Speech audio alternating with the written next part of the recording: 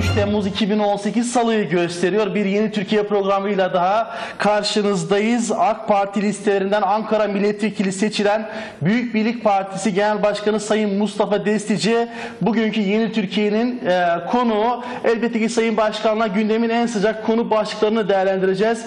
Dün Sayın Başkan Türkiye Büyük Millet Meclisi'ne giderek e, kaydını yaptı. Resmi olarak da milletvekili e, oldu diyelim değil mi Sayın Başkanım? Evet. Dün- Çok teşekkür ederim. Hoş geldiniz önce Evet, ve hemen e, konuya girdik. Bu arada tabii ki izleyenlerimiz soru, görüş, önerilerini ekrandaki iletişim bilgilerimiz üzerinden iletebilirler. Hatırlatmasını yapalım. Sayın Başkanım dün yemin ettiniz, etmeniz daha doğrusu ama mazbatanızı aldınız, gittiniz, kaydınızı yaptınız. Resmi olarak artık milletvekilisiniz. Yemin de edeceksiniz önümüzdeki süreçte aslında yeni sistemde takvim nasıl işleyecek? Oradan başlamak istiyorum. Ben öncelikle tabii e, seçimlerin 24 Haziran seçimlerinin ülkemiz, milletimiz için e, soydaş ve dindaş coğrafyamız için hayırlara vesile olmasını Yüce Rabbimden niyaz ediyorum. E, tabii e, seçimler gayet büyük bir olgunlukla, demokratik bir yarış içerisinde geçti. Milletimize şükranlarımı sunuyorum. Çok yüksek bir katılımla belki dünyada ender görülen demokrasiye inançlarını, milli iradeye sahip çıktıklarını gösterdiler. İkincisi Yüksek Seçim Kurulu üzerinde pek çok spekülasyon oluşturuldu. Seçimlerin güvenliği noktasında. Biz o zaman da bunu ifade ettik. Bunların yersiz suçlamalar olduğunu, ithamlar olduğunu ve neticede Yüksek Seçim Kurulumuzda, il ilçe seçim kurulları, sandık görevlileri çok başarılı bir seçim yönetildi ve hızlı sonuçlandırıldı. Dolayısıyla da onlara da teşekkür ediyorum. Siz medya mensuplarına, basın temsilcilerine, Anadolu Ajansı'na hepsine teşekkür ediyorum. Yani e, seçimin bu şekilde sonuçlanmasında. Seçime katılan siyasi partilerimiz büyük bir olgunluk içerisinde. Hatta birkaç adayın işte yok se- Yüksek Seçim Kurulu önüne gideceğim falan. Tabii millet buna da fırsat vermedi. E, ve neticede arada öyle bir fark çıktı ki kimse tabiri caizse ana, Anadolu'da bir laf var ağzını açamadı. Yani dolayısıyla da milletimiz o konuda da e, yani doğru bize göre bir karar verdi. Tabii milletin kararı ne olursa bizim başımızın üstünde yeri vardır. Tabii seçimin iki ayağı vardı. Birincisi Cumhurbaşkanlığı ayağı. E, Cumhur İttifakımızın işte AK Parti, MHP, Büyük Birlik Partisi'nin e, adayı olan, desteklediği Sayın Cumhurbaşkanımız tekrar Cumhurbaşkanı seçildi. Ya devlet başkanı e, aslında dememiz lazım. Çünkü yeni sistem e, başkanlık sistemi. Ve meclis ayağında da her türlü yine e, manipülasyona rağmen e, milletimiz sağduyulu davrandı ve Cumhur İttifakı'na mecliste çoğunluğu emanet etti. İnşallah bu emaneti boşa çıkarmayacağız. Tabi bundan sonraki takvim tabi milletvekillerimiz işte mazbatalarını alıyor. Ben de dün mazbatamı aldım ve meclise kaydımızı yaptırdık. Tabi ondan sonra e, daha önce 5'inde diye açıklanmıştı ama beklentimiz ve Yüksek Seçim Kurulu'ndan aldığımız bilgiler yani inşallah e, gece saat 12'den önce kesin sonuçlar açıklanacak. Seçimin kesin sonuçları. Ve ondan sonra takip eden 3 gün sonra 7'sinde e, daha önce yine pazar açıklanmıştı ama 7'sinde olacak. E, milletvekillerimiz bizler yemin edeceğiz. E, saat 14'ten itibaren cumartesi günü.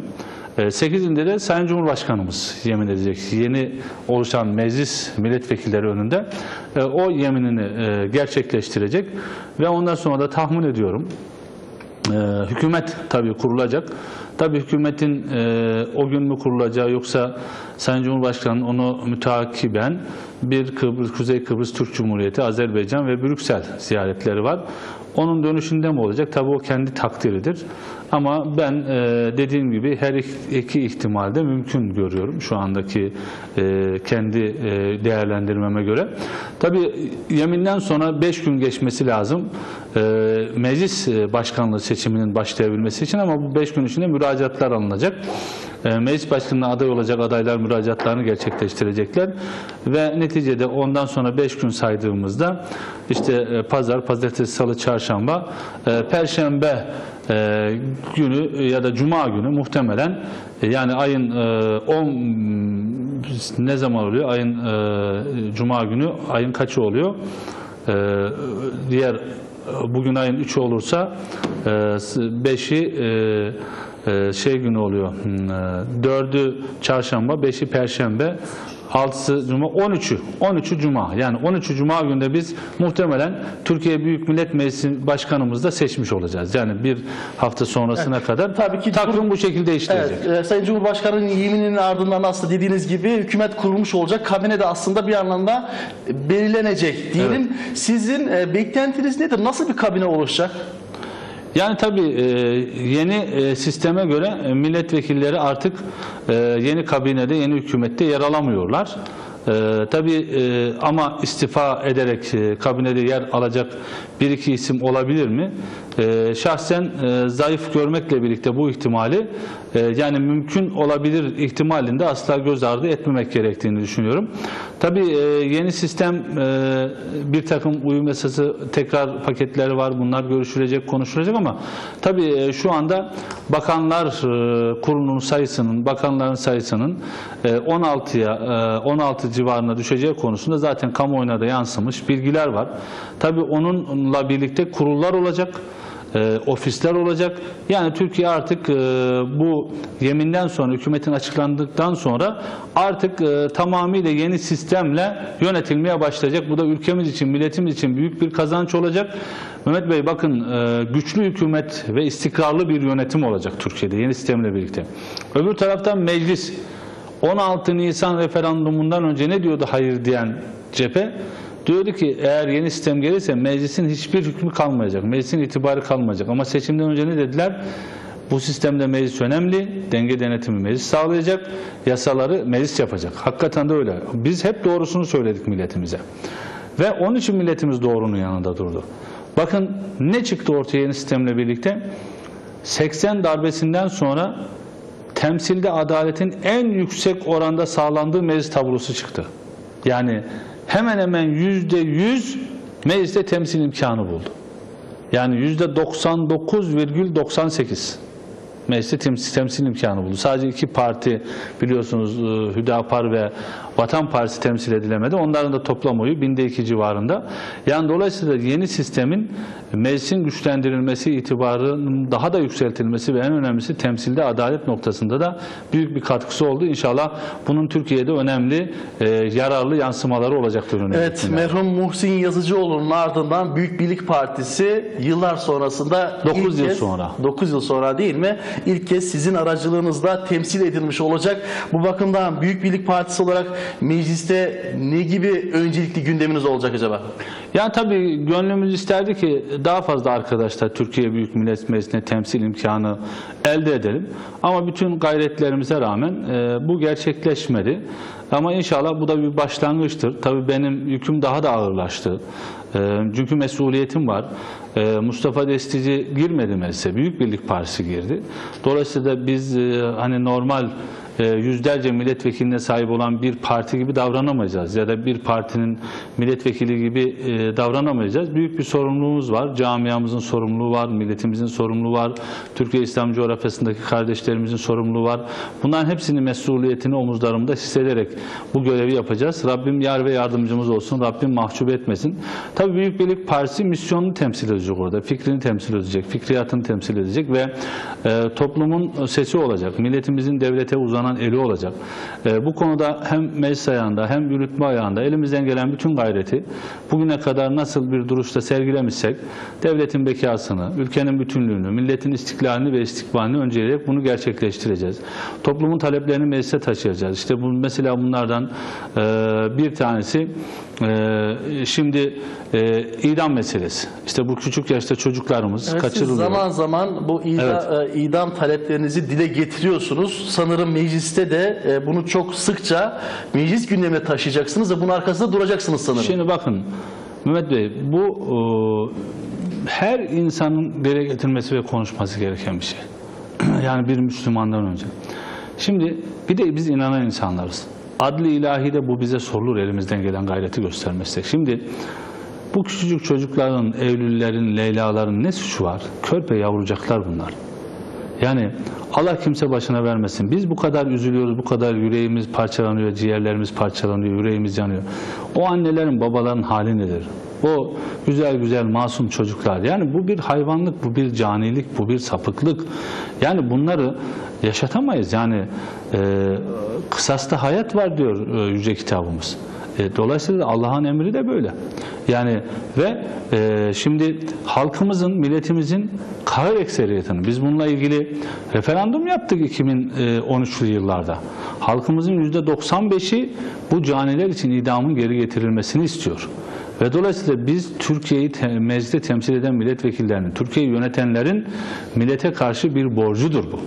Dolayısıyla biz 2011 yılında bununla ilgili 2 milyon imza topladık ve bu imzalarımız Meclis Dilekçe Komisyonu'nda bekliyor. Bunları da canlandıracağız.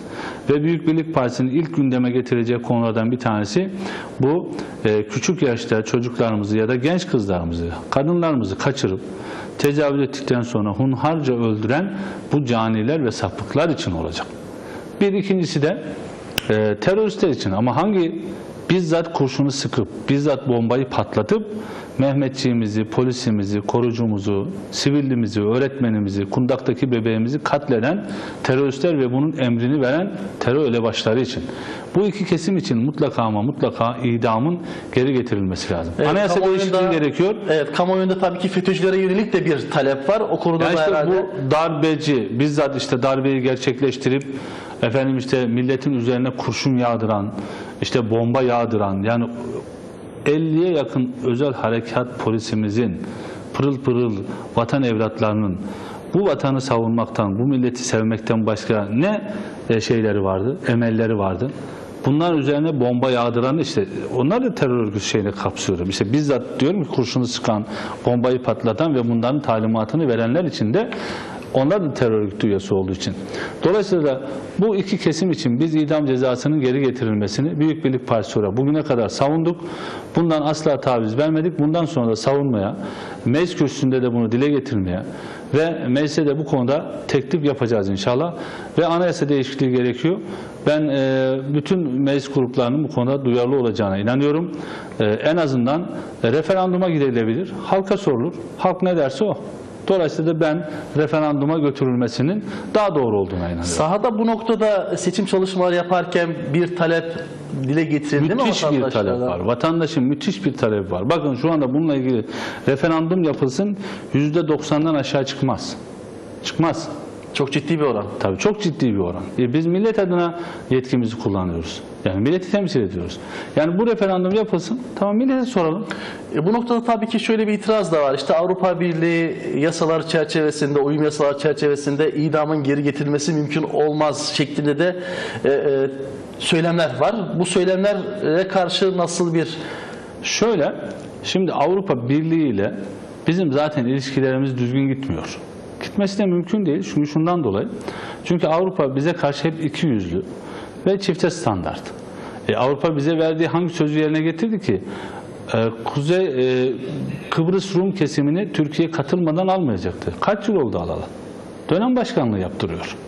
Yani bunun gibi ve neticede Avrupa Birliği'ne Türkiye alınmayacak zaten. Biz bunu başından itibaren söylüyoruz. Dolayısıyla bu hayal tünelinden, rahmetli Muhsin Başkan'ın ifadesiyle bu hayal tünelinden çıkıp bizim kendimize dönmemiz lazım. Kendi birliklerimizi, Hazar Ortak e, Birliği mi olur, işte Türkistan Birliği mi olur, Avrasya Birliği mi olur? Kendi birliklerimizi kurmamız lazım.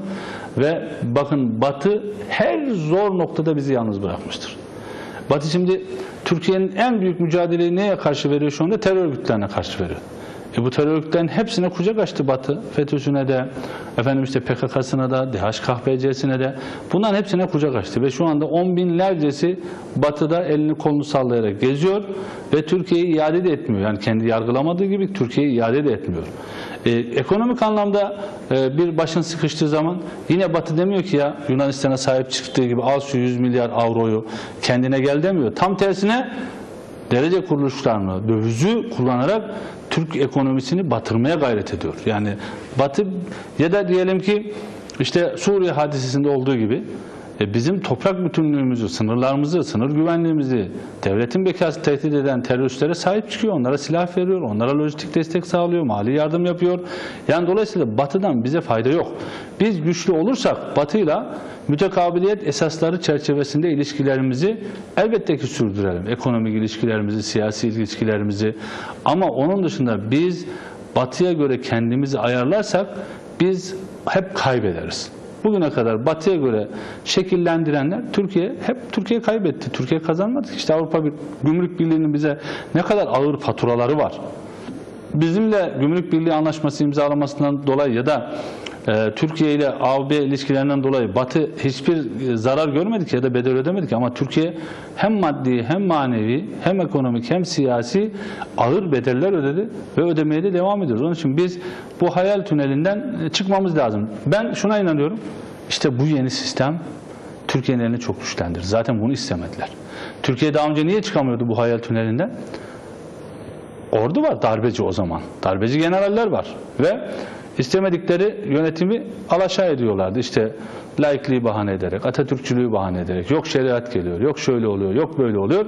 Ama asıl hedef o değil. Asıl hedef sistemi korumaktı. Yani Batı'nın Türkiye'ye kurdurduğu sistemi korumak. Yani laik, seküler laizmi esas alan, batıcı bir sistemdi eski adına parlamenter dedikleri ama sözde parlamenter, eksik arızalı parlamenter sistem. Onun için zaten en büyük mücadele burada verildi. E, onun için hayırı desteklediler. Onun için evet'e karşı çıktılar. Onun için bu seçimde Cumhur İttifakı'na karşı çıktılar. İşte öbür e, Millet İttifakı'nı desteklediler. E şimdi Türkiye bundan sonra inşallah güçlü bir yönetim, istikrarlı bir yönetim, güçlü bir meclis, itibarlı, daha itibarlı bir meclisle artık batıya da eyvallah etmeyecek. Batı'ya eşit şartlarda kardeşim, mütekabiliyet esaslar çerçevesinde. Çünkü artık içeride seçilmiş hükümetlere sopa gösterecek güçler Allah'ın izniyle kalmadı. Bizim ordumuz da şu anda milli iradeye saygılı. Bakın niye Muharrem İnce dedi, apoletlerini sökeceğim dedi senin Metel Temel Paşa'ya. Cumhurbaşkanını alkışladığı için. Onlar Cumhurbaşkanını alkışlayan değil, merhum Erbakan'a olduğu gibi başbakanlara küfreden paşalar istiyorlar. Zamanı geldiğinde darbe yapsın ve istemedikleri iktidarları değiştirsin paşalar istiyorlar. Şimdi onlar kalmadı. Yani Batı'nın da Türkiye'de artık eli güç zayıfladı. İçerideki e, şeyleri zayıfladı. Onun için ben bundan sonraki sürecin Türkiye'nin lehine gelişeceğine inanıyorum. Evet, apoletlerini sökeceğim dedi Muharrem İnce fakat 24 Haziran'da aslında bir bakıma sandıkta millet Muharrem İnce'nin apoletlerini söktüğü sayılır fakat bakıyoruz ki 24 Haziran sonrasında CHP'de adeta kazan kaynıyor. Bugün de önemli gelişmeler oldu. Muharrem İnce Kılıçdaroğlu arasındaki başkanlık kavgasını nasıl yorumluyorsunuz? Şimdi tabii ben e, bir başka partinin genel başkanım. Dolayısıyla bir başka partinin iç işlerini e, çok böyle derinlemesine e, yorumlamak e, siyasi ahlaka da çok uygun düşmez. Ama e, şunu da söylememiz e, onu zedelemez diye düşünüyorum. E, tabii her seçimden sonra mutlaka siyasi partilerde bir değerlendirme yapılır.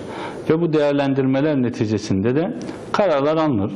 Ee, ve burada da şimdi e, Sayın İnce tabii popülaritesini artırdı ve partisinin aldığı oyun e, fevkinde bir oyla aşağı yukarı 7-8 puan bir yüksek oyla e, çıktı. E, fakat daha önce tabii verdiği bir takım sözler var işte e, Sayın Kılıçdaroğlu görevde olduğu sürece aday olmayacağı noktasında. Başka şekilde şeyler var. Onlar kendileri değerlendirecektir ama e, Sayın İnce'nin e, tabii e, toplumun önüne çıktıkça farklı olumlu ya da olumsuz özelliklerinde de toplum tanımaya başladı. İşte bir resepsiyon görevlisiyle yaptığı, e, işte bir siyasetçiye değil hiçbir insana yakışamayacak türden bir konuşma. Ondan sonra e, yine işte bir gazeteci yazarla ilgili kullandığı ifadeler. İşte bu çıkışları. Yani kendine e, özgün bir e, şey çiziyor, e, karakteristik e, davranışlar sergiliyor. Onun için ben e, halkımızın ve CHP tabanının bu gelişmeleri değerlendireceğini ve ona göre karar vereceğini düşünüyorum ama e, şu anlaşılıyor ki CHP'de e, sular e, hemen seçimden sonra tekrar kaynamaya e, başladı ve e, kolay kolay da e, durulmayacak gibi gözüküyor. Evet. Tabii ki dün mecliste bir açıklama yaptınız gazetecilere. Özellikle yerel seçimin erkene alınması ile ilgili bazı gazetelerde bugün erken genel seçimi Bahçeli, erken yerel seçimin ise Destici Ateşeli şeklinde de haberlere manşetlere imza attılar. Nedir sizin yerel seçimin öne alınması ile ilgili fikriniz? Şimdi şöyle, bu tabii soru dün bana soruldu meclisteki e, kayıttan sonra. Biz zaten e, 2009'dan beri bu yerel seçimlerin öne alınması noktasında hep e, görüş belirttik. Çünkü 2000 Mart e, sonu da olsa Türkiye'de kış şartları devam ediyor. Tabii bu kış şartları devam ettiği için seçimin e, seçim zorlaşıyor. Yani propaganda imkanı. E, çünkü e, her yere gitmeniz lazım. E, dolayısıyla bu siyasi partiler açısından, seçmenler açısından, propaganda yapanlar açısından çok zorlaşıyor. Onun için bunun e, mutlaka ama mutlaka e, normal hava şartlarına alınması lazım. Yani erkene alınabiliyorsa erkene. Yok iki ay sonraya bırakılabiliyorsa Mayıs ayı o da olabilir. Yani biz illa erkene alınsın demiyoruz. Mayıs'a da bırakabilir, bırakılabilir. Ama anayasa e, bir değişikliği gerekiyor. Ama biz tabii e, erkene alınmasını daha doğru buluyoruz e, Türkiye şartları açısından. Bir de Türkiye artık bana göre yerel seçimini de yapmalı. Ve 5 yıl, yerel seçimler de 5 yılda bir oluyor. İstikrarlı bir şekilde artık seçim meçim düşünmeden e, yoluna yürümeli e, üretimine ağırlık vermeli, sanayisine ağırlık vermeli, imalatına ağırlık vermeli, büyümeye ağırlık vermeli. İşte kendi e, meselelerini çözmeye, terör başta olmak üzere, dış politika başta olmak üzere, e, eğitim başta olmak üzere, bütün nerelerde eksiklikler varsa, sistemle ilgili düzenlemeler olsun, bütün bunlara Türkiye kafa yormalı ve dönüp dönüp e, seçimle meşgul olmamalı. Onun için biz bu anlamda da Ekim ayı sonu ya da Kasım ayı başı gibi eğer e, seçimler erken alınırsa bunun Türkiye açısından çok faydalı olacağına inanıyoruz ve bu ihtimali de yüksek görüyorum. E, Çünkü e, AK Parti sözcüleri de, grup başkan vekilleri de e, buna benzer bizim konuşmalarımızı teyit eder noktada açıklamalar yaptılar. Zaten daha önce 2014 yerel seçimleri öncesi hatırlarsanız AK Parti ile Milliyetçi Hareket Partisi bu konuda mutabakata varmıştı. E, f- ve bir anayasa değişikliğine o zaman ikisinin sayısı yetiyordu grup sayıları. Ama olmadı. E, Fire verildi o zaman. E, Ben şimdi e, bu sayının tamamlanabileceğini düşünüyorum. Özellikle diğer muhalefet partilerinin seçimden kaçmayacaklarını ve e, Cumhur İttifakı'nın e, teklif edeceği bir seçime evet diyeceklerini ve anayasa e, değişikliğinin de mümkün olabileceğini ihtimali çok yüksek görüyorum. Büyük Birlik Partisi olarak yerel seçimlere hazır mısınız ya da acaba ittifak e, yerel seçimlerde de devam edecek mi? Şimdi şöyle tabii ki biz hazırız seçime Ee, ama e, bu ittifak sıcaklığıyla bütün seçim çevrelerinde olmasa da belli seçim çevrelerinde bu ittifakların ben süreceği kanaatindeyim. Bunu da doğru buluyorum. Çünkü biz 24 Haziran seçimlerinden önce de açıkladık. Yani bizim ittifakımız sadece 24 Haziran seçimleriyle ilgili değil, 24 Haziran gecesine kadar değil. Ee, Biz bunu e, uzun vadeli düşündük. Yani sistemin tam olarak oturması, sağlanmasına kadar Türkiye'de ve Türkiye'nin e, işte o hal şartlarından çıkıp normalleşmesi, devletin bekasını tehdit eden, ülkenin bütünlüğünü tehdit eden, milletin istiklalini ve istikbalini tehdit eden tehlikeler ortadan kalkıncaya kadar bizim ittifakımız sürecektir. Bu te- tehdit ve tehlikelerin e, kalktığını gördüğümüz anlamda yine işbirliğimiz sürer. E, Yine gerekli noktalarda ittifakımız olur ama e, bu tehditler sürdüğü sürece bu ittifak zorunludur. Evet. Şimdi tabii ki pazar günü 15 Temmuz'un yıl dönümünü yaşayacağız. 15 Temmuz'un da gecesi FETÖ'cü hainlerin e, hainlikleriyle karşılaştık. Bu yıl dönümüyle ilgili, pazar günü ile ilgili bir etkinliğiniz olacak Bu mı? pazar değil bir e, sonraki pazar. Evet, Yani 15 meclis, Temmuz'un meclis başkanlığı e, seçildiği e, şeyde. Tabii ki orada e, biz geçtiğimiz yılda biliyorsunuz Türkiye Büyük Millet Meclisi'nde bu anlamda e, büyük bir etkinlik düzenlendi. Türkiye Büyük Millet Meclisi'nin ev sahipliği yaptı. Biz de oradaydık. E, yine tahmin ediyorum ki Türkiye Büyük Millet Meclisimiz bu konuda bir hazırlık içerisinde yine bir etkinlik olacak. Tabii bütün il ve ilçelerde Büyük Birlik Partisi yapılan bütün etkinliklere geçmiş yıllarda olduğu gibi bu yılda katılacaktır. Ee, siyasi partiler bakımından baktığımız zaman FETÖ hususunda aslında e, bir bütün siyasi partilerin bir öz eleştiri yapması gerektiğine inanıyor musunuz? Ee, şöyle zaten yapıldı yani bu öz eleştiriler yapıldı ve dolayısıyla da e, ben bu anlamda da tabii kamuoyunda basında çok dile getiriliyor. Yani bunun siyasi ayağı noktasında. Ama siyasi partiler zaten e, kongreler, kurultaylar, işte seçimler bütün bu süreçleri değerlendirerek bu anlamda herkesin üzerine düşeni e, yaptığına inanıyorum. Ama tabii hukuk ayrı noktadan işliyor.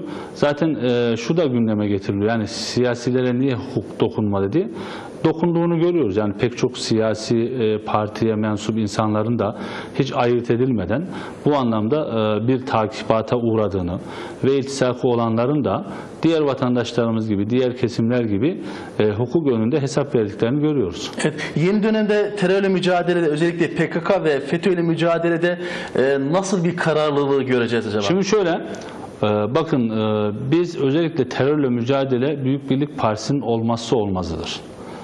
Özellikle bu PKK ile mücadelede biz e, ciddi mücadele edilmesi gerektiğini, terörün tüm unsurlarına karşı, bütün terör örgütlerini kastederek söylüyorum. Terörün tüm unsurlarına karşı topyekün bir mücadele verilirse ancak başarılı sonuçlar ve neticeler alınabileceğini hep dile getirdik. 25 yıldır rahmetli Muhsin Başkanımızla birlikte ondan o başlattı. Biz de bu süreci devam ettirdik. Maalesef geçtiğimiz yıllarda terörle müc- mücadele edilen dönemler oldu, eksik mücadele edilen dönemler oldu, noksan mücadele edilen dönemler oldu, hatta müzakere edilen dönemler oldu. Biz bunları doğru bulmadık. Terör ancak mücadele edilerek yenilebilir. Terörle pazarlık edilmez, müzakere edilmez dedik. Ha vatandaşın taleplerini dinlersin o başka bir şey. Vatandaş önceliğimizdir. 2015'ten beri Türkiye terörün tüm unsurlarıyla topyekun bir mücadele veriyor. Tam da Büyük Birlik Partisi'nin bizlerin istediği gibi ve bizlerin e, böyle olması gerekir dediği gibi. Çok cesur, kararlı, içeride, dışarıda hepsine karşı bir mücadele veriliyor. Ve biz bu mücadeleyi sonuna kadar destekliyoruz. Ve bakın netice de alınıyor. Yani içeride, şimdi bakın mesela seçim sonuçlarında da görüyorsunuz. Terörle mücadele sadece dağdaki teröriste değil ki işte belediyeye sızmış kayyum atayarak. Ya da işte meclise girmiş. Şimdi PKK bir terör örgütüdür Mehmet Bey. Bunun daha kadrosu var mı? Var. Kim bunlar? İşte Murat Karayılanlar, Duran Kalkanlar, işte onun altındakiler, Cemil Bayıklar. Peki bunun Suriye ayağı var mı? Var. İşte Salih Müslimler öbürleri. İşte Kuzey Irak ayağı, Brüksel ayağı, Avrupa ayağı, oradaki temsilcileri. E peki bunun medyada yok mu ayağı? Var. Bir takım sözde e, yazılı, görsel basın kuruluşları, medya temsilcileri, gazeteciler, yazarlar. Peki bunun belediye, işte belediyelerde varlardı, kayyumlar atandı. İşte finans ayağı, mali kaynak ayağı, sivil toplum örgütleri sözde, işte devletin de sızmış memurlar, işçiler, kadrolar ve meclislik.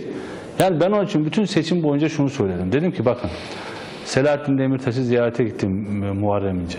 Çok büyük yanlış. Yani terörü meşrulaştırmadır o. Dedim ki Demirtaş neyse Karayılan odur. Salih Müslüm neyse Demirtaş odur. Abdullah Öcalan neyse odur. Yani Sadece sadece gitmekle, ziyaret etmekle kalınmadı, tahliyesi talep edildi. tabii tahliyesi talep edildi. Hem de sağda olduğunu, milliyetçi olduğunu ifade eden partilerin genel başkanları, cumhurbaşkanları adaylar tarafından, muhafazakar olduğunu iddia edenler tarafından, milliyetçi olduğunu iddia edenler tarafından. Yani ben çok açık yüreklilikle ifade ettim. Dedim ki Demirtaş'a özgürlük istemek, Karayılan'a ya da Abdullah Öcalan'a özgürlük istemektir. Çünkü bunlar hepsi terör örgütünün üyesidir. PKK eşittir HDP'dir. HDP eşittir PKK'dır. Çünkü onun siyasi uzantısıdır. Böyle değilse çıksın HDP'nin sözleri desin ki hayır bizim PKK ile hiçbir ilişkimiz yok.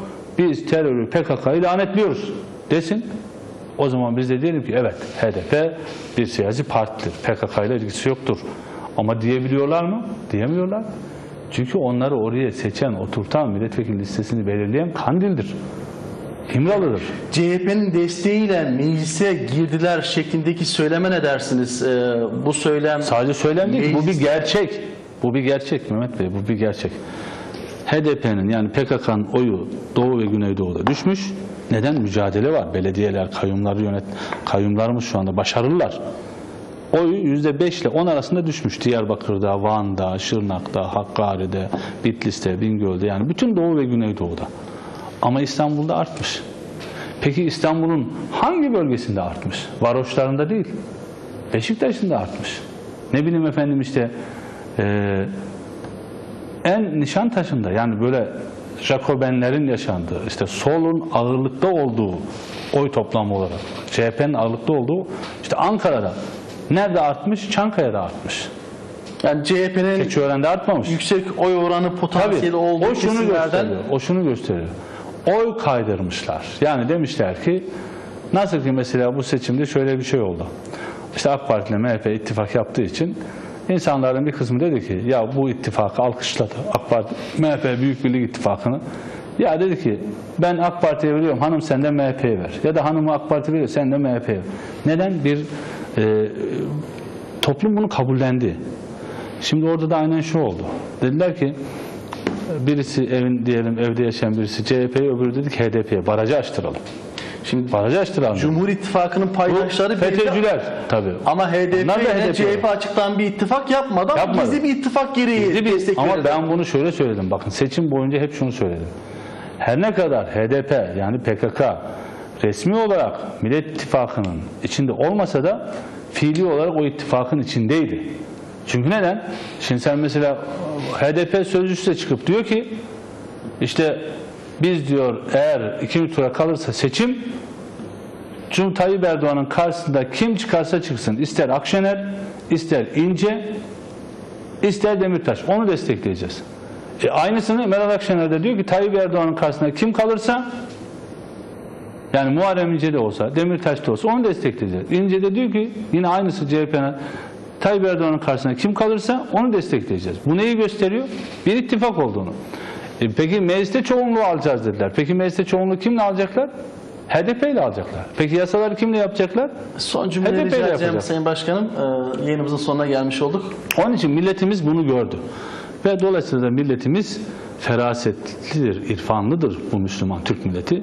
Ve sandıkta gereğini yapmadı ve e, onların e, bu emellerine ulaşmasına fırsat vermedi. Sağduyu kazandı, milletimiz kazandı, devletimiz kazandı.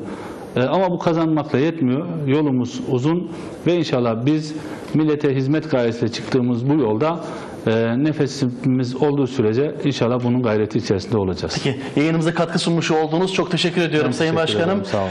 Büyük Birlik Partisi Ankara Milletvekili ve Büyük Birlik Partisi Genel Başkanı Sayın Mustafa Destici yayın konuğumuzdu. Bugünlük de Yeni Türkiye'nin sonuna gelmiş olduk. Yarın aynı saatte buluşmak üzere. Hoşçakalın.